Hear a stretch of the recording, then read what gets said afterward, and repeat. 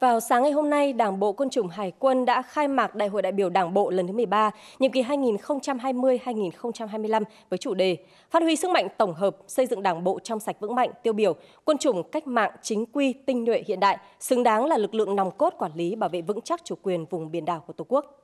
Thượng tướng Phan Văn Giang, Ủy viên Trung ương Đảng, Ủy viên Thường vụ Quân ủy Trung ương, Tổng tham mưu trưởng, Thứ trưởng Bộ Quốc phòng dự và chỉ đạo đại hội. Trong nhiệm kỳ vừa qua, Đảng ủy Quân chủng Hải quân đã lãnh đạo toàn quân chủng thực hiện tốt chức năng tham mưu với Đảng, Nhà nước, Quân ủy Trung ương Bộ Quốc phòng, các giải pháp nâng cao tiềm lực quốc phòng, xây dựng nền quốc phòng toàn dân, thế trận chiến tranh nhân dân trên biển, chuẩn bị chu đáo toàn diện về tư tưởng, tổ chức lực lượng, phương tiện cho nhiệm vụ bảo vệ chủ quyền biển đảo theo đúng phương châm, tư tưởng chỉ đạo, xử trí kiên quyết, kiên trì, kịp thời, đúng đối sách, có phần bảo vệ vững chắc chủ quyền vùng biển đảo của Tổ quốc. Thực hiện mục tiêu phấn đấu đến năm 2025, Hải quân Việt Nam cơ bản hiện đại, quân chủng hải quân đã đảm bảo kịp thời, ngày càng đồng bộ, đủ số lượng, chất lượng tàu, máy bay, phương tiện, vũ khí trang bị kỹ thuật cho các nhiệm vụ. Thực hiện hiệu quả mô hình, đơn vị ba tiêu biểu gắn với nâng cao chất lượng huấn luyện, duy trì kỷ luật kỷ cương. Bên cạnh đó, quân chủng hải quân tiếp tục đồng bộ các giải pháp xây dựng quân chủng vững mạnh về chính trị trên môi trường đặc thù biển đảo. Trong các nhiệm vụ, tình huống khó khăn, nguy hiểm, cán bộ chiến sĩ luôn kiên định vững vàng, có ý chí quyết tâm cao, sẵn sàng nhận nhiệm vụ và hoàn thành nhiệm vụ, gắn kết chặt chẽ các cuộc vận động, phong trào thi đua với chương trình Hải quân Việt Nam làm điểm tựa cho ngư dân vươn khơi, bám biển. Các bức thư điện của lực lượng công tác trên quần đảo Trường Sa, nhà giàn JK1, đài trạm radar, tàu làm nhiệm vụ trên biển gửi về đại hội đã khẳng định ý chí, niềm tự hào, niềm tin vững chắc về bước phát triển của quân chủng trong giai đoạn mới.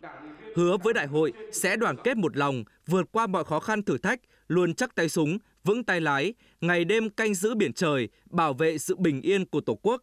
phát huy tốt vai trò lực lượng xung kích, phòng chống khắc phục hậu quả thiên tai, sự cố môi trường, dịch bệnh. Phát biểu tại đại hội, Thượng tướng Phan Văn Giang đánh giá Đại hội đại biểu Đảng bộ Quân chủng Hải quân lần thứ 13 đánh dấu quá trình xây dựng và phát triển của Đảng bộ và quân chủng trong giai đoạn mới, nhất là sau 10 năm thực hiện chủ trương tiến thẳng đến hiện đại, tổ chức biên chế có sự phát triển, nhất là các lực lượng mới. Trong bối cảnh đó, Đảng ủy quân chủng đã quán triệt sâu sắc tình hình nhiệm vụ, đoàn kết, năng động, đổi mới, khắc phục khó khăn, góp phần giữ vững môi trường hòa bình, ổn định, tạo điều kiện phát triển kinh tế xã hội nói chung, kinh tế biển nói riêng. Lãnh đạo quán triệt triển khai thực hiện nghiêm túc kế hoạch tổ chức lực lượng quân đội đến năm 2021. Đề án xây dựng quân chủng hải quân cách mạng chính quy tinh nhuệ hiện đại năm 2016-2020 và tầm nhìn đến năm 2030. Triển khai các dự án trung hạn và nhiều dự án chuyển tiếp một số dự án được đầu tư đưa vào sử dụng bảo đảm chất lượng, tiến độ đáp ứng yêu cầu nhiệm vụ huấn luyện sẵn sàng chiến đấu. Tổng tham mưu trưởng Phan Văn Giang tin tưởng Đảng bộ quân chủng Hải quân sẽ luôn quan tâm xây dựng mối quan hệ đoàn kết, thống nhất cao, giữ vững nguyên tắc trong tập thể cấp ủy, các cấp trong toàn đảng bộ, tập trung xây dựng đội ngũ cán bộ, đảng viên có bản lĩnh chính trị vững vàng, có trình độ, năng lực, phương pháp, tác phong, làm việc khoa học, dám nghĩ, dám làm và dám chịu trách nhiệm, luôn nêu gương cho cấp dưới, quan tâm bồi dưỡng, tạo nguồn cán bộ kế cận, đảm bảo tính kế thừa, liên tục vững chắc cho sự phát triển của quân chủng, xứng đáng với niềm tin yêu của Đảng, Nhà nước và nhân dân.